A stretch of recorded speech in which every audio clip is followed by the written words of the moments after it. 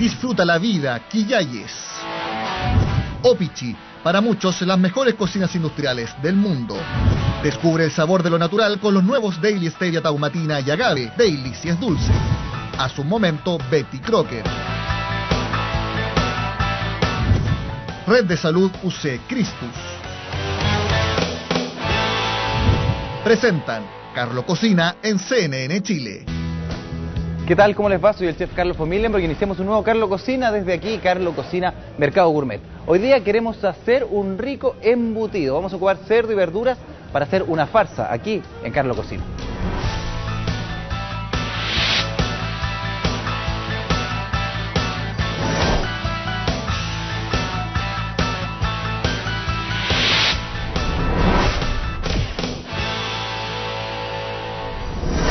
Aquí tenemos carne molida de cerdo y esta carne molida es derivado del lomo. ¿Por qué elegí esta carne? Porque es una carne bastante magra, rico en proteínas también, tiene 16 gramos de proteína por cada 100, así que una muy buena fuente de proteínas para nuestro cuerpo.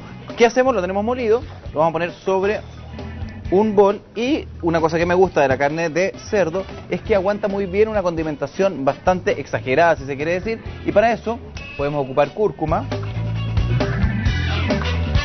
ají de color.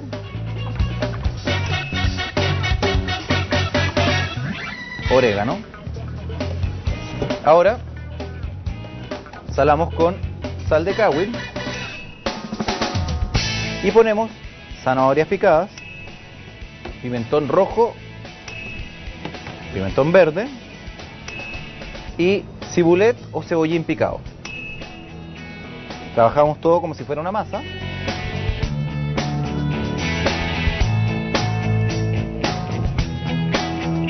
Separamos en mitades. Voy a hacer dos pelotitas allí. Y no importa que no quede tan regular porque lo ponemos sobre este papel plástico.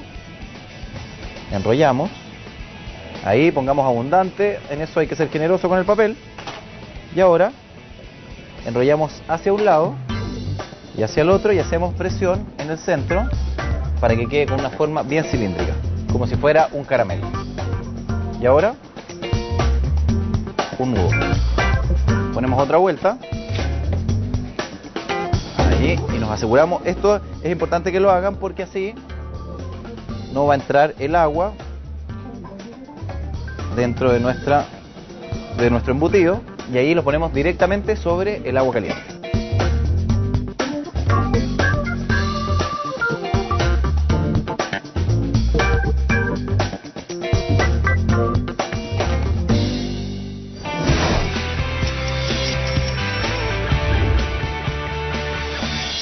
Apagamos el fuego y vamos a sacar 40 minutos han pasado.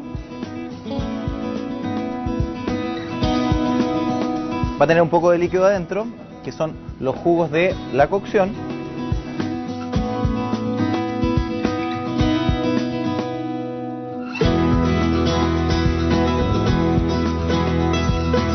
Ahora que ya está frío, agarramos el embutido y lo ponemos sobre perejil picado por todas sus caras.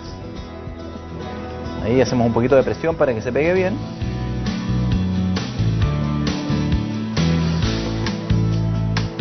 Y ahora cortamos. Una cosa importante es que tengan al lado un paño húmedo y así pueden ir limpiando el cuchillo cada vez que corten una rebanada.